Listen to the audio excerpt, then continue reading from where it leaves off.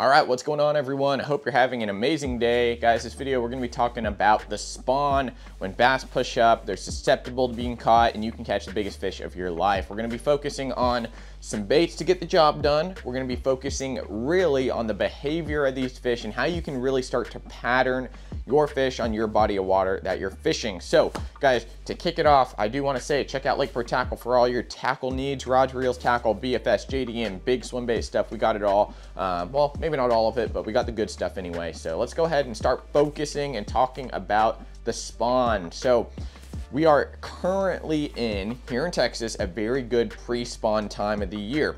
Right when those big fish start to make the big push from that 30 to 40, maybe 25 foot of water up to around that shallower, deeper water, you know, around 8 to 20-ish foot. They're going to be cruising around that range. They're going to start moving towards your main creek areas, um, starting to push back into cuts, secondary points, and little drains like that. So uh, guys, for the sake of this video, I'm going to be really focusing on some of the cover that inhabits Lake Fork because the elites are right there um, fishing for these spawners and pre-spawn fish. The biggest weights are still in that pre-spawn stage, but people are still catching good limits, that 20 to 25 pound limits out in the bed fishing areas, back in cuts, back around shallow water. It can be an amazing time of the year. So kicking it off, guys, let's talk about the main push from that deeper water to shallow water. Why do they do it? Well, the bait fish have to move around in that warming water. And what happens is um, basically everything spawns in the spring you know, your bait fish are going to start spawning. There's probably generally going to be a good little shad spawn going on. Those fish are going to be looking for the shad. Um, everything is going to start getting more active. And what happens in the springtime um, from the winter time is that your days are going to start getting longer and longer and longer. The water is going to have more of a ch chance to heat up more and more and more throughout the day. And what you're really looking for when the fish really get up on their beds, and there's a difference between the pre-spawn um, really good pre-spawn in bed fishing, guys. Um, what happens is those fish are going to really stick to these areas, these pre-spawn deeper areas until they really want to make that push up and we call it staging, right? So you hear fish, hear fishermen talk about staging fish around a little bit deeper water, six to eight foot of water before they go up and actually lay their eggs, right? So first off, guys, I do want to get some fish biology out of the way, right? So the female fish here generally in the animal kingdom, the females are going to get much bigger, especially in the, the fish kingdom here. The females are going to get really, really big, and your males are going to be a little bit smaller. Uh, so typically a big average sized male is going to be around two and a half to maybe three pounds. Now we've seen some big males like four to five pound males, and those are going to be really, really old males. You know, they have the good genetic possibility to, ability to get to that size. And also guys, females, world records like 20 some pounds. Of course, Lake Forks, Ethel, 18 pounds and some 18 pounds and some change, something like that. So these females can get to really, really big sizes as long as the food source is there and the pressure is, the, is not there. So um, these fish, when they get old like that, they get smart. So uh, to catch one of these really, really smart big females, it takes a lot. The stars have to align or you just got to get really lucky. So you know, these big females, as you're looking for them um, on either forward-facing sonar, down side scan, they're usually much easier to pick out in a crowd, but they're also harder to catch because they know you're fishing for them. One of the big things we're going to be talking about is how the whole ecosystem works. And that's what I want to stress on this channel here. You know, I want to make sure that I'm putting out content to where you learn things and you're not just going out and I'm, it feels like I'm regurgitating stuff that you probably already know. I really want to focus on the why and how more than just, you know, catching the fish. So that's my goal here. And if you are learning some stuff, it really helps if you leave a comment down below. It helps us in the algorithm. If you leave a like on the video, of course. And even if you skip through the video, guys, watching it all the way through really boosts us up in the algorithm and really pushes these videos and the channel to more and more people out there on YouTube. So I would definitely really appreciate that. Um, so the big push from that deeper pre-spawn water up to the bank is a whole process. The photocycles get longer, the water's heating up, and the water has to stabilize for those fish to want to stay up there. Generally, these big females, they have a very, very specific taste. You know, they might be a Louis Vuitton girl, might be a Gucci girl. Um, it really just depends uh, on that female itself. And a lot of the times when they're staging guys, especially at Lake Fork, the timber, the stumps, the standing timber, they can move vertically depending on the water, uh, depending on the current going through with the high winds in the springtime because they will shift from north to south and do that quite a bit. So they want to find a comfortable area in the lake that's generally protected from a lot of the wind uh, where uh, typically skinnier coves have a lot more fish because that's where bigger fish or fish will congregate the most because it's fully protected uh, as well as oddly positioned coves. I like to focus on east-west coves um, that are very, very skinny, real spawny looking coves, really flat in most areas with a main creek channel running in. And that is my general like key to finding really good and successful spawning areas. Uh, that east-west cove that runs this way or this way um, is really protected from a north or south wind, which is primarily the winds that you're gonna get in the springtime. So deeper cover like this, stumps, I've heard of so many people, especially Lee Livesey, who's one of the best guides out there on Fork, guys. He said he worked a giant bedfish on a stump like this in seven to six foot of water. And he could see the tail come up now and then as she was laying eggs and doing her thing. Um, and that's just a one really, really good area. Now, not all fish do that. A lot of fish, females specifically on Lake Fork, will set up on docks and deeper timber. Now, of course, with the uh, you know, the forward-facing sonar revolution going on, we can find these fish in the deeper timber, but originally, flipping docks was the way to go, and it's still a great way to go. Any vertical cover that reaches far out into the water in deeper water is generally more beneficial. So, staging-wise, these fish, these big females, and we're going to try to focus on the females because they're more fun to catch, generally get bigger, blah, blah, blah, blah, blah, right? So these females are going to stage a lot deeper right here. Where are my pins? Uh, there we go. So these big females, they'll stage deeper water starting off, guys. Whether they're at the tip, directly under, starting to move back, guys. That's kind of how they move towards the spawning date right there. Uh, in the meantime, guys, the male fish, your two to two and a half, three pounder males, are to go up and make the bed here.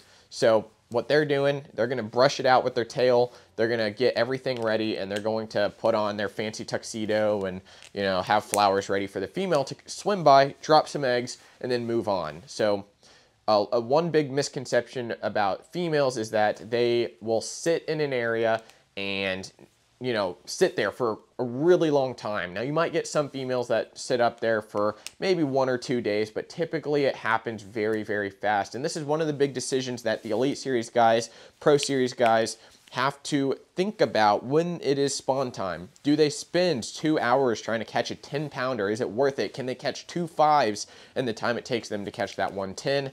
Uh, it, it really just depends on the fishery. I know Lake Fork, guys, there's some massive fish in there. Um, there have already been, I think, three or four, maybe five 10 pounders caught, several nine, several eights.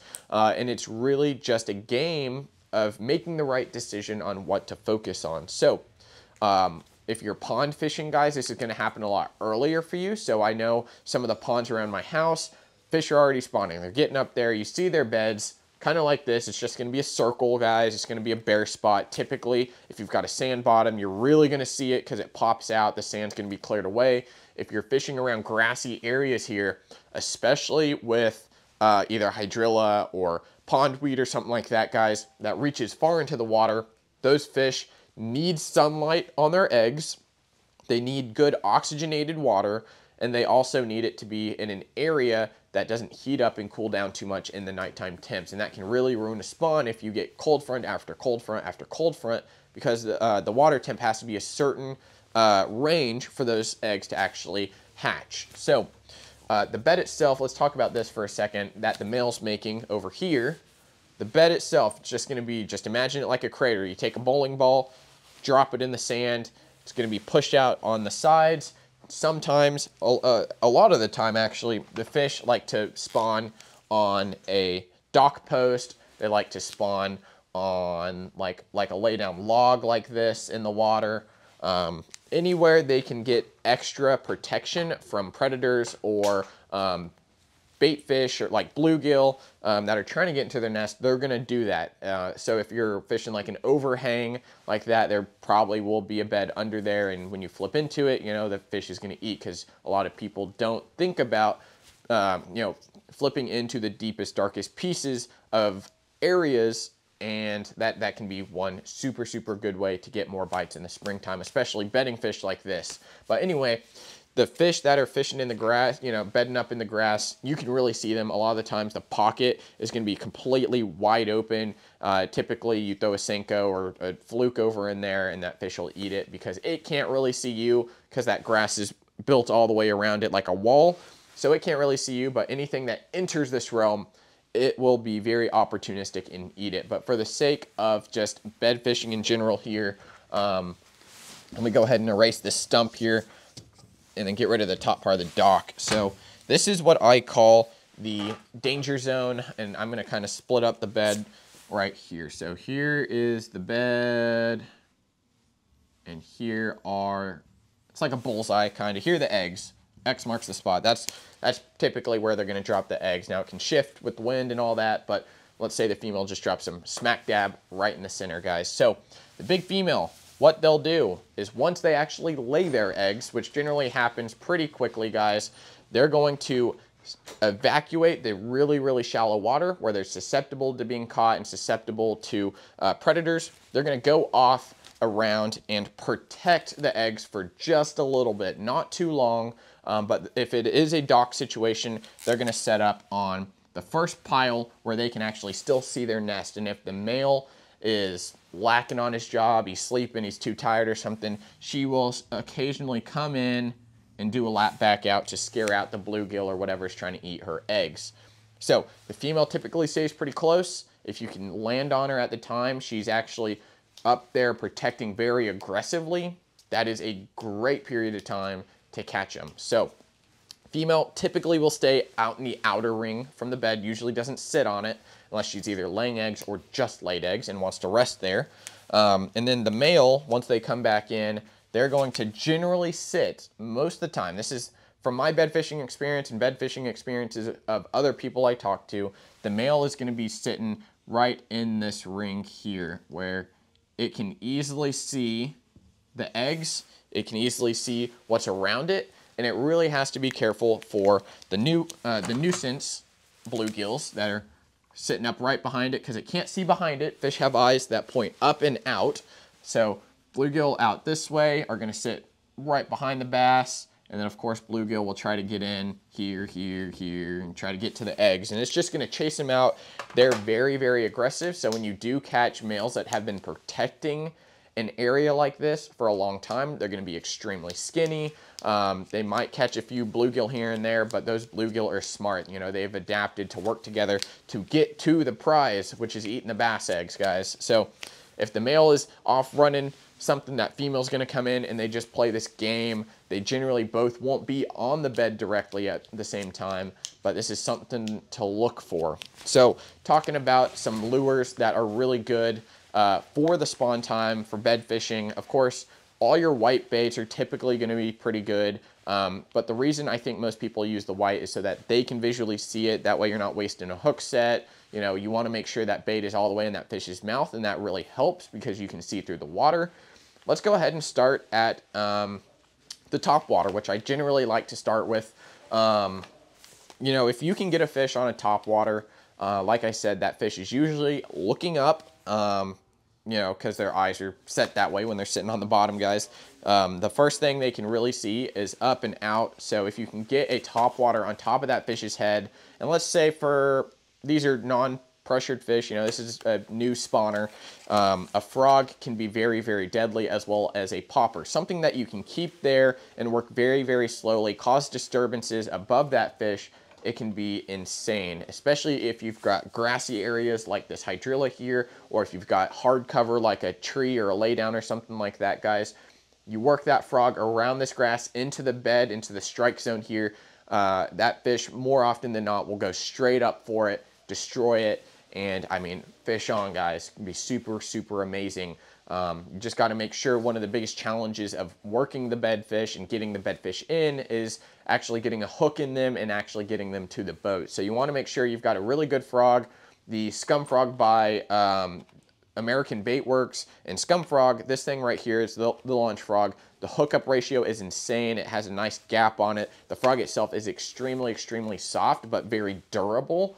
Uh, and I absolutely love this one. Tim loves this one as well. It looks really weird. You know, it doesn't look froggy itself, but a black color like this uh, is, is a great silhouette, especially on bluebird days or even cloudy days. It works uh, all times of the year, and I love a black buzzbait as well if I'm just trying to cover bank and I need to work it over those little holes in the grass like this very efficiently, very effectively later in not the post spawn, but really the heat of the spawn. Those fish can't resist a frog sitting over their head, waiting to just dive down and eat their eggs, right? So another bait to get more of a pure reaction strike, and if you didn't watch my latest video, go watch that one. I'm gonna link it somewhere over here. Um, go watch that one. It talks about uh, the hunger bites, the reaction bites, and all that. So another great way to get a reaction bite out of the fish is something with a big swim bait, guys. You know, a big swim bait is a very big target for these fish um, a very nuisance target because it can destroy the nest. So they want to get it out there, out of the area as quickly as possible. Now this clutch starter here is a chopping style glide bait, very similar to something like a Spro Chad Chad or Chad Chad. Um, so you're typically not fishing these around super grassy areas because it does have treble hooks. So let's focus more on like your ponds and uh, some non-weedy areas, guys. So like this over here, as this glide bait or this chopper style glide bait works its way near the bed, what you want to do is try to get it very suspending, maybe a slow sink. And once you get it up to the bed, you want to see how that fish reacts. If it's very aggressive right off the bat, just start working that bait super fast, making the head chop, letting it sit there. And that fish should, I mean, nine times out of 10, if it does that, acts aggressive. As soon as it comes near this range of the bed, it is going to eat it. Uh, if you're finding that the fish starts to move away from the bed, you can let this sit here, especially if it's suspending guys or a very, very slow sink. You can let it just sit there in the bed, wait for that fish to come back and make it react with those quick chopper styles. Now, if it's if that fish is in a very, very negative mood, it will probably eat the baits one out of 10 times, 10 casts. It just takes a lot to work that fish, to get it more aggressive, more and more aggressive as it sees this bait more often. Um, if you put something in the bass's area that's completely new to it, like it has no idea, it's curious, it needs to go check it out and eat it and get it out of the bed. If it's seen it a couple times, it's gonna be more susceptible to saying, no, I know you're not real, you're not a threat, you're not eating the eggs, so I'm not gonna go eat you, right? So that's my thinking on that, and definitely watching the last video will definitely help. Now, if you need something that needs to sit in the bed, that's a big target. This is really, really fun to do. Guys, a mag draft, a freestyle with a beast hook, whether you add a little bit of weight or not, guys, this can be very, very deadly. Doing the same exact thing, working it all the way through the bed can be very effective. Just swimming it through multiple times. That bass should go eat it. If not, the beauty of the freestyle is it's weedless. You can flip it in the weeds here. I mean, let it just sink down, sit there, wait for the bite, wait for your line to start moving out. Or again, like here, you just let it sit in the bed make it just kind of shake your rod a little bit as you see guys doing, just kind of shaking it there, acting like it's down there eating the eggs. So the big baits, generally those fish are more curious and they know they have to get out of there quick because um, a, a, fish this size, like a bluegill, a big bluegill, something like that can absolutely ruin a bed. All right, moving on. Something very similar to those guys there, uh, where it's a very true presentation like a like a bait fish or a bluegill or something like that. The bellows gills, guys, these things are super amazing. Set them up. Uh, this is the 3.8 version. Uh, really great for just about any perch uh, representation, guys. This is a honeydew. It's got chartreuse and it's got white on the back. So this is a great sight fishing lure. Um, and it's got a great profile, great bluegill profile. Um, really the main things that target bass beds um, because the bluegill like eating those little eggs. Uh, you know, they make a ton of different colors in these. If you want to specifically sight fish, this can be very, very beneficial. It's so bright, uh, draws a lot of attention, has the amino scent on it, uh, which causes those fish to react very, very aggressively. So uh, simple Texas rig. You can do a beast hook style where it's got a weighted keel on it. Very, very weedless. These are super awesome. Highly recommend those. A couple other baits that you can do um, for your more traditional bed fishing are, of course, going to be a tube. If you watched uh, Amistad, I believe Ish Monroe was throwing a big tube out there. Uh, these can be great. They imitate basically everything. The MaxScent tubes are really awesome. They've got the MaxScent on them, and the tube in general isn't thrown a lot. So if you are fishing for more pressured fish in your ponds or your lakes or anything like that, this can be extremely deadly on a Texas rig or a stupid tube version, whatever works for you, whatever's more weedless. If you've got weeds or just straight on a jig head on a open bed like that. One of my personal favorites, guys, is going to be the Zoom Z-Craw in white here. This is going to be the white pearl. These things are badass on a Texas rig, three quarter, uh, not three quarter, sorry, uh, 3 16 to a quarter ounce generally gets the job done for me. If it's a little windier, I might go to uh, like a almost a half ounce, like 3 eighths half ounce if it's super, super windy. And if I can get away with it, if the water's not super, super clear, I might throw braid. I do like a little stretch, especially if I'm fishing vegetation like this. If it's thick vegetation, braid all the way. If I'm fishing anything else, generally gonna throw like 17 pound fluorocarbon. Now, it also depends what hooks I'm throwing on this. If it's a thicker hook, 17, maybe 20, generally not 20, but 17 is my go-to. 15 uh, for my lighter wire hooks and 12 even sometimes if it's open water and they can't get snagged in anything like that. Uh, another great bait for more of a pure, just aggressive approach, um, kind of similar to the Z-Craw here, is going to be like a Hags Undertaker Jr. This thing has just tons and tons of appendages on it. It's got six appendages. It's got uh, two on the back, two claws, and two little frills here. Uh, you can cut it apart and make it more finessey, and that's what I love about the Hags Undertaker Juniors. Um, it's got the ribbed body, so it folds up really, really nicely when a fish goes to, uh, you know, just suck it in, really get it out of there. And you got to be careful too. One of the great things about the sight fishing stuff with white is a lot of the times those fish will suck in your bait and then they'll spit it right back out. So having that white bait, being able to not see your bait when that fish eats it is a great sign that you're ready to set the hook. Now, uh, one of the uh, more consistent techniques with uh, older older guys uh, is pitching a jig on a bed. Anything, you know, like of course a creature bait like that, but a jig is very great because it, it's, it's weedless, it has the skirt, it creates a secondary action that can sit there. You can put a Hags Tornado or a Z-Craw or a Rage Menace or a Rage, you know, Rage Craw on the back of a jig. It can be very, very effective in either situation. Um, and, the, you know, just I, you can't go wrong with it. You know, one of my favorite ones is this new Tungsten Strike King jig. It's a tour grade, and that's all I have to say about that. Half ounce generally what I go with just because the skirt material slows it down, and I like to have a good meaty Rage Craw style um, trailer on there, especially to work them really, really fast. I like to flip it in fast, get it out, work it in, get it out, and they really just have to react to it because it goes in so fast and gets out of their face. If you haven't tried this one here, the sleeper or the dark sleeper guys, it can be very, very effective on beds. Just kind of work it just like a jig. Um, really, the one thing you have to watch out for is the hook. The hook is light-ish wire to where you can set the hook, still get a good hook in them, um, but you do have to make sure that you aren't horsing these fish too much on the dark sleeper because although the hook is strong, it's not the strongest one and you know you're better off really just wrenching on them with an EWG or an offset worm or something like that. One of the most effective techniques all year round when you're up shallow or even out deep is a Senko, guys, Yamamoto, uh, especially in the spawn time.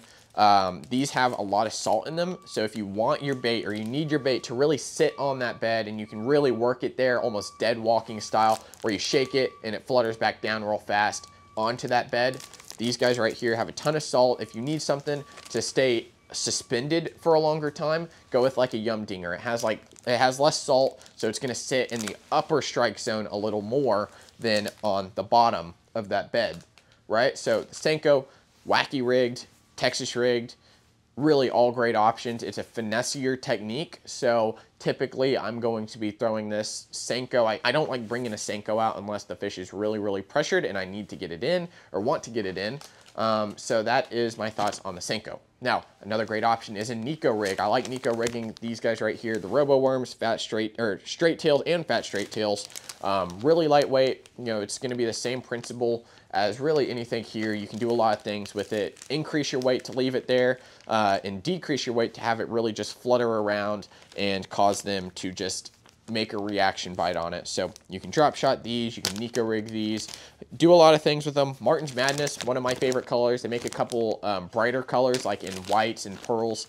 Uh, so you can play with that as you will. But guys, I hope you enjoyed the video here. Uh, you know, spawn fishing is definitely an intricacy that not a lot of people are great at. You know, you can be good at spawn fishing, you know, just working that fish for a long time, but the great ones can do it in five casts or so. Uh, a lot of the time, newly bed, new bedfish that go up uh, are very susceptible to being caught. It doesn't take a lot of casts to get them, and if they are fresh guys, it can be a blast. Now, I've caught a couple fish out on my home lakes and other lakes around here where I can go to a pond and all of a sudden that fish has like five hook hook holes in its mouth because it's been sitting there for a while. Generally going to be your males, um, but you know the best way to get more bites is just go out there, go fish. Um, even if it feels cold outside, that water temp is heating up just because the sun's hitting it. So be on the lookout for some bedfish coming up in your waters. And uh, I hope you enjoyed the video, guys. Leave a like on it. Leave a comment down below. I really appreciate it. We'll see you next time. See you guys.